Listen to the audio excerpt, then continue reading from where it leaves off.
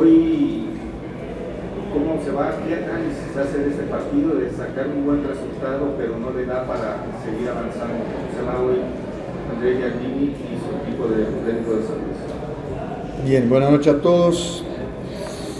Ah, un mixto de sensaciones. Tal vez lo, lo más preponderante es el orgullo de hacer el partido que hicimos aquí. Mismo el partido en Alfonso Lastras, fuimos un equipo que, que salió a frente, que tentó pelear de igual con América, mismo sabiendo el equipazo que tiene América. Y un tanto de frustración de estar cerca, sentir que era muy, muy posible y al final no, no, no, lograr el objetivo mayor que teníamos, pero felicitar sobre todo a mis jugadores por la partida que hicieron, por, por la personalidad que tuvieron. Creo que el Atlético San Luis dio una demostración a todos, a todos, equipos, prensa, afición, lo que somos, lo que somos hechos, en fin, y este orgullo realmente tal vez sea la, la, la sensación mayor. Gracias, Orlando. Adelante, W Deportes. Aquí a tu izquierda. Buenas noches, Fabricio Domínguez para W Radio, W Deportes. Eh, hoy hizo falta un gol, preguntarte precisamente qué le hizo falta al equipo para que después de un escenario de partido pues idóneo, te fuiste ganando 2 por 0, te hizo falta esa sola anotación. ¿Qué le hizo falta al equipo para poder consumar en la segunda parte esa, ese gol?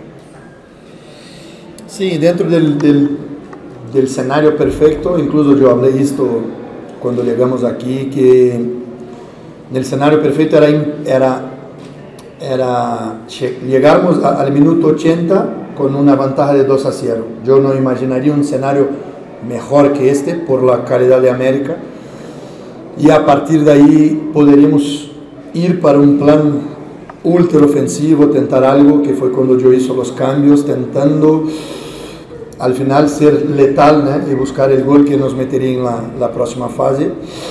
Y ahí una desatención con Valdés que lo marcamos muy bien durante todo el, el partido. Eh, los grandes jugadores como, como, como Valdés por veces necesitan de una pelota con espacio. Eh, para mí marcó la diferencia. Eh, entonces, pero los sabores, sinceramente, es para mí la, la, la, la, vaga, la próxima fase, se escapó mucho más en el primer partido, donde no conseguimos defender también. ¿eh? América tiene un equipo que hay que, que, tener un nivel de atención, de concentración defensiva muy alta. Eh, de verdad, en el primer partido, allí, en este punto fallamos. Eh, conseguí ser muy, mismo entrenar muy puntual con los vídeos, con lo que hablamos de corregir la defensa, conseguimos esta consistencia porque generar peligro nuestro equipo siempre genera, sabíamos que íbamos a tener las chances ser contundentes y consistentes, era el plan para podernos arriscar al minuto 80 como se pasó y la única cosa que nos salió como, como planeamos era no meternos el tercer gol y sobre todo tomarnos un gol que acabó ali nos, nos alejando de, del objetivo. Gracias, César Caballero. Adelante, Hola Andrés, ¿cómo estás? Este caballero de ESPN, un gusto saludarte entiendo el, el dolor, la, la, tristeza, la frustración de generar la derrota, pero también hay ciertas cosas buenas. Y me gustaría preguntarte si crees que San Luis ha encontrado un portero para el futuro, un portero que podría, una de dos, dar grandes satisfacciones al club o en algún momento también ayudar a las arcas de la misma institución en el tema económico, más allá de que termine equivocándose en ese último gol. ¿Cómo ves esa parte de Andrés Sánchez? Sí, muy, muy feliz por Andrés. Andrés es un un, una persona increíble, un profesional increíble, trabaja mucho, se dedica mucho. Estaba mucho tiempo aguardando esta oportunidad por el respeto que tiene a Barovero, que es un líder y un gran portero también. Sabíamos que estaba muy preparado y no nos sorprende el nivel que presentó, apenas nos, nos deja muy felices por él, porque sabemos todo que, que pasó para llegar aquí eh, una dificultad personal fuerte también, al final perdió su mamá a poco tiempo, ¿sabes? Está un poco dolido también por este tema, mas dentro del club tiene, tiene su familia, un apoyo muy grande y una confianza de que aquí tenemos un portero para mucho tiempo en San Luis. Eh, pienso que, que puede soñar con la selección mexicana porque tiene nivel para esto. Gracias. Continuamos. Y- Buenas noches, André Carlos Daniel Salgado de Azteca Deportes. Eh, ya hablas de Andrés Sánchez eh, y seguramente habrá otras eh, cosas que rescates no solo del partido de hoy, sino de lo que se vio en León. Entre todo esto que, acumulas, ¿qué crees que, se le tiene que agregar al San Luis para que el próximo torneo puedan llegar a esta fase no como un equipo de sorpresa, sino como un conjunto favorito? Sí, tal vez lo, lo punto donde más ganhamos es sabemos que empezamos el próximo torneo con este equipo, ya con, con sus formas, con una forma de jugar muy clara, manteniendo todos los principales jugadores. Es para, de verdad la primera vez que voy a poder tener esta ventaja de empezar con la misma equipo.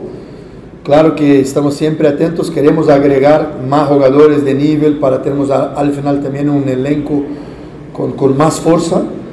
Mas la, para mí la mejor noticia para la afición, para el club, para el proyecto, es sabermos que el próximo torneo empezamos de este punto, que terminamos, eh, sabemos que podemos ir por más. Entonces me ilusiona mucho saber que la, el próximo torneo vamos a estar más fuertes, ¿sabes?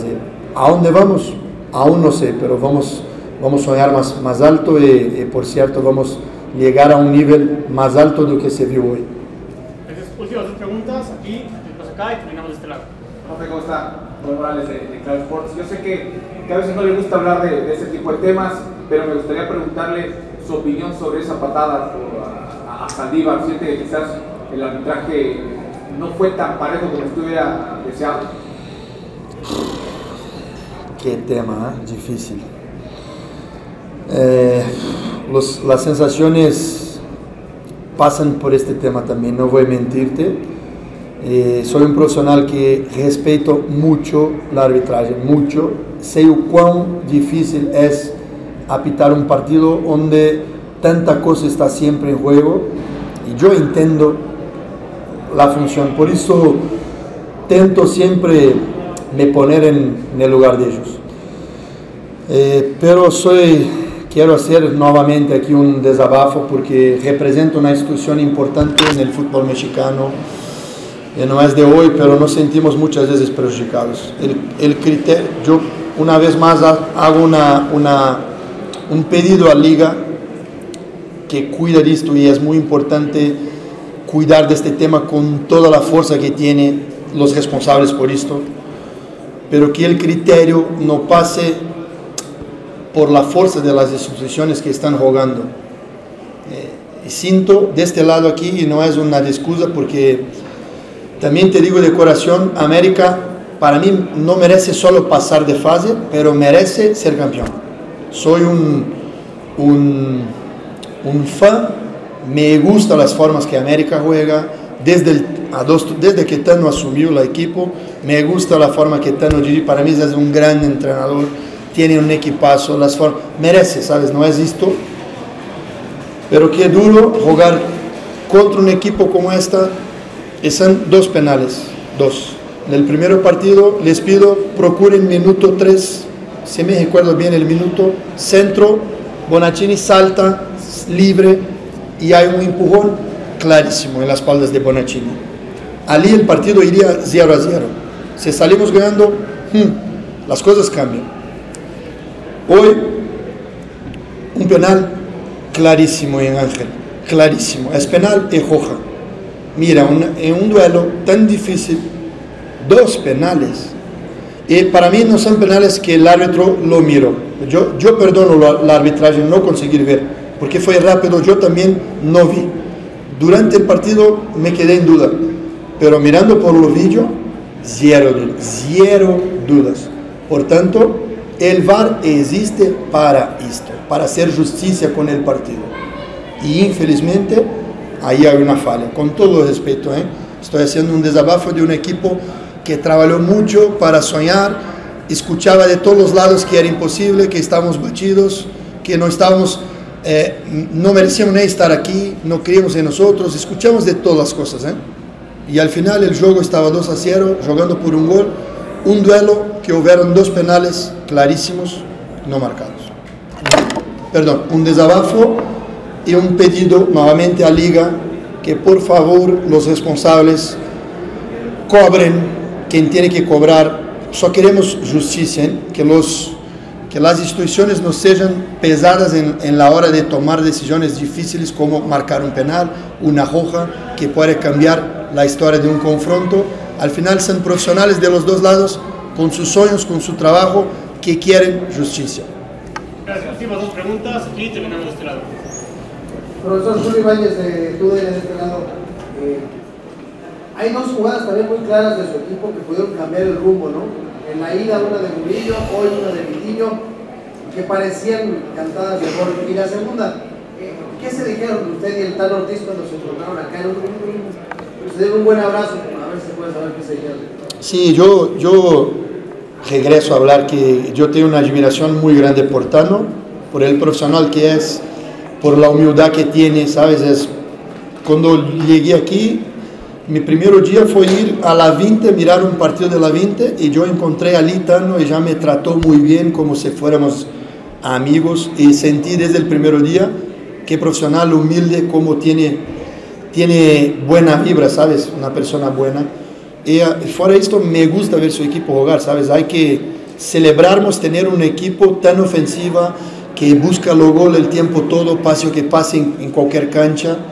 Y sinceramente, para mí, llegó la hora de América salir campeón, merece, por todo lo que viene haciendo.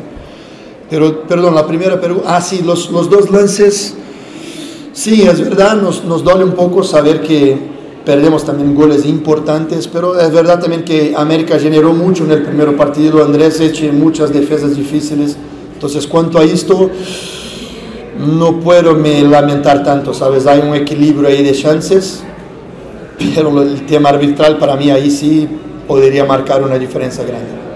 Gracias. Última pregunta por acá. Buenas noches, profesor. Le saluda por acá a su derecha Pedro Alemán para Deportes.com.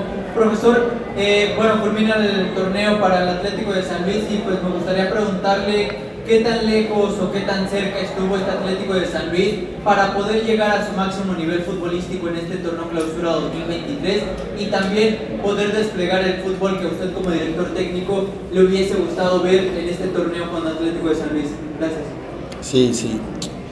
Yo practiqué algunas veces que incluso en los peores momentos nuestros en este torneo, que era un equipo nueva, que estamos nos conociendo, hay muchos jugadores que aún que, que acabaran de llegar, como Ángel, como Mateo, como Jeter, estamos nos conociendo. Yo durante el torneo testé las más diversas variantes, con dos pivotes, con dos interiores, con laterales profundos, con laterales por dentro, con Jeter y Mateo, con, en fin, yo fui intentando encontrar aquel equipo que merece la mejor respuesta. Y de verdad encontramos, encontramos en las derrotas ante Toluca, ante León, durante la primera fase, un equipo que fue ganando forma, que fue ganando consistencia. Yo acabé manteniendo también una idea más fuerte, dando secuencia, creyendo que tal vez con la secuencia de juegos podríamos cambiar de nivel. Y esto se pasó de facto porque quien acompañó todos nuestros partidos vio que incluso en las derrotas ahora de estos últimos juegos jugamos, jugamos ante Pachuca, merecimos para mí una mejor suerte, ante Toluca, partidos que fuimos contundentes, ante Juárez, partidos en casa que ganamos bien.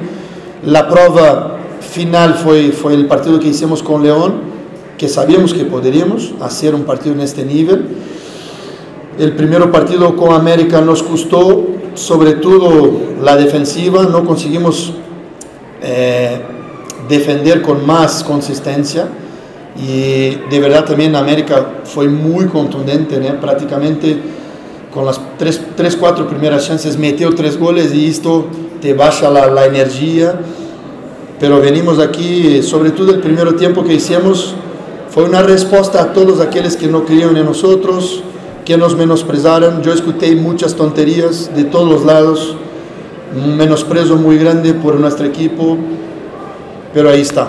ganhamos, estivemos cerca de hacer el 3 a 0, que muchos imaginaban ser imposible, muchos pensaban que veníamos aquí a, a contar los goles de América, a perder de poco, pero de verdad eh, yo vi un equipo que salió a jugar, que metió sus goles, que construyó sus goles, que presionó, y que por muy, muy poco no logró el gran objetivo de, para mí, tirar la, la mejor equipo de, del fútbol mexicano. Y si conseguimos hacer un partido de este contra la mejor equipo, el próximo torneo me, me ilusiona.